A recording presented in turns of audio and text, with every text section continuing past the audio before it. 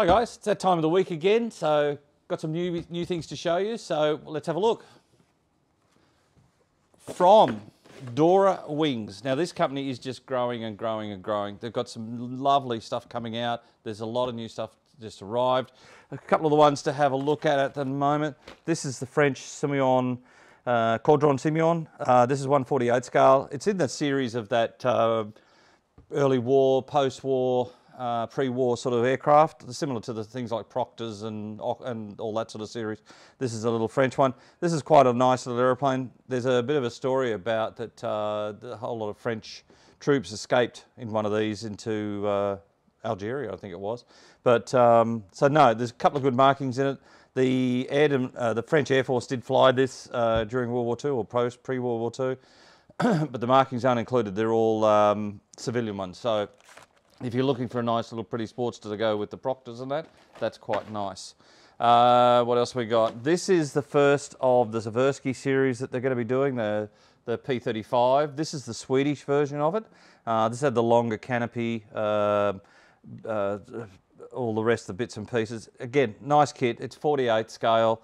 Um, this whole series appears to be pretty good. I think they did about six different versions of the P35, um, which is the forerunner to the Thunderbolt and the P43. Um, nice little kit.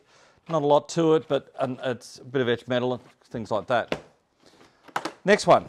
This one, it really caught my eye. This is a pretty little parasol French aircraft. It was a trainer uh, Pre-World War II, along the lines of the Stearman, the Tiger Moth, it was that sort of uh, initial aircraft type of thing.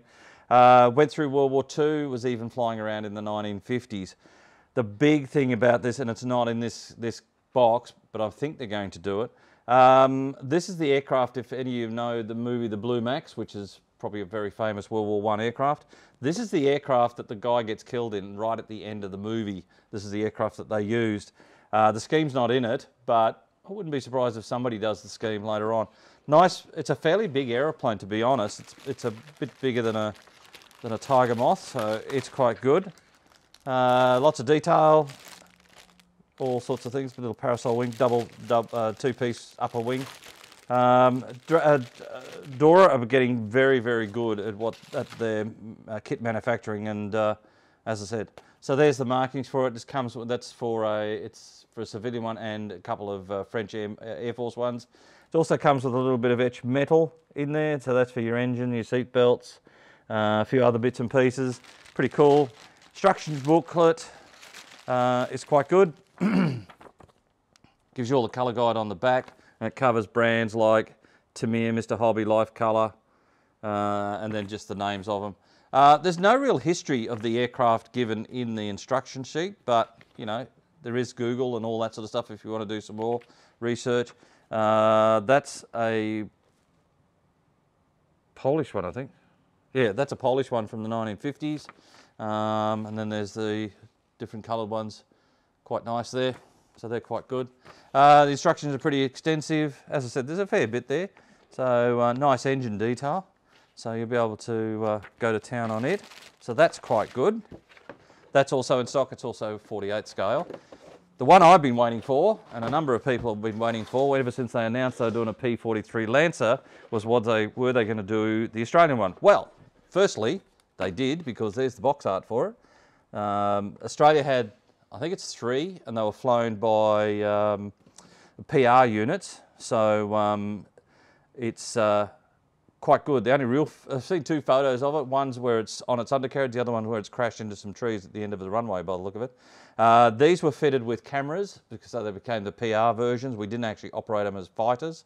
As I said, I think we had three and we ended up losing one and gave two back or something, although I scrapped one of the two. Um, again, usual instruction book from them. Nice big uh, colour guide listing there at the back.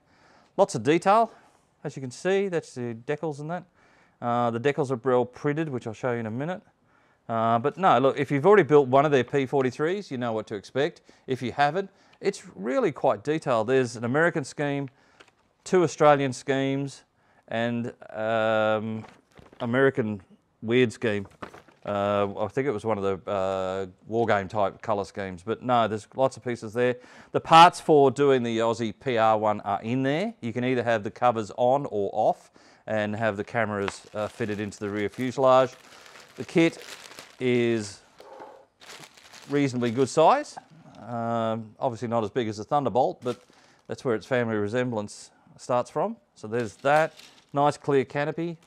Um, all the usual bits and pieces, props and stuff like that. The props are quite good. Very little flash on this thing too, which is good. That's your, all your engine. Uh, how much of it you'll see in that cowling, I'm not sure, but there you go. Uh, undercarriage bays, so nicely detailed undercarriage bays. All these bits and pieces. Uh, what I got? Wings and a one-piece lower fuselage, uh, lower wing, wing, so you can get your dihedral and everything correct. Again, the detail's really nice. It's nicely engraved. There's, there's, it's rivets where they, apparently there should be, and the reviews I've seen of it have been very good for the earlier ones. Um, I can't wait to get hold of one of these and do it up. It's, it's one of those odd little airplanes that when I was a kid, I was trying to build the Air Force, Australian Air Force, and you couldn't get one. And if any, anybody remembers the old Beechnut kits. I did have one of them and I almost gave up modelling because of it. But since then, we've now got a 48 scale one. And I will tell you that there is a 72nd scale one coming too. So if you're a 72nd scale modeler and you just want to stick to that, yes, you're going to get a, a decent P43.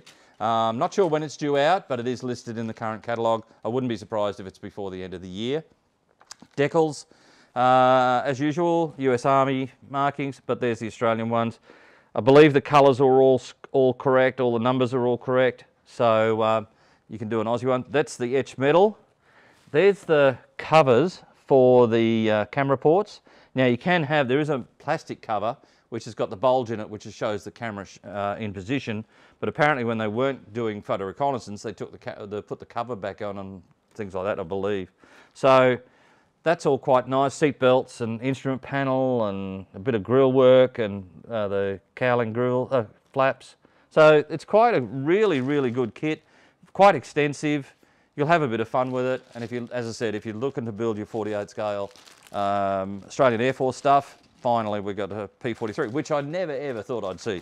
I thought there was way more kits ahead of this, but Dora Wings really is looking at all those kits that you really, really never thought would happen, and they are happening, which is just brilliant. The biggest thing about this brand is that they're doing so much interesting stuff and they've got so many plans for doing all sorts of pre-war, post-war, uh, the aircraft that you wouldn't have thought you'd see. The biggest one for the Australian modeler is that they're doing a 48 scale Vultee Vengeance. They're doing two or three versions that I know of. I believe one of them will be Australian or have Australian markings in it. Looking forward to that. That's just going to be excellent because if you've got the old AZ kit, you know how bad the work was and what, what it was, and yuck, just yuck. This will be really nice. I'm looking forward to it. I've always wanted a Vengeance. I've seen the real one out at uh, Camden. If you ever get a chance and you can talk them into letting you in and have a look at it. But it's coming. Dates-wise, I would suspect probably August, September is where I'm looking, I think, at the moment. So uh, we'll just have to wait and see. Don't hold me to it because with the vagaries of all the things going on, you never know what happens. So that's from Dora Wings. These are in stock right now. Uh, have a great day. Maybe catch up on the movie Blue Max so you can see, have a look at the aeroplane. But have a great day. Talk to you soon. See you guys.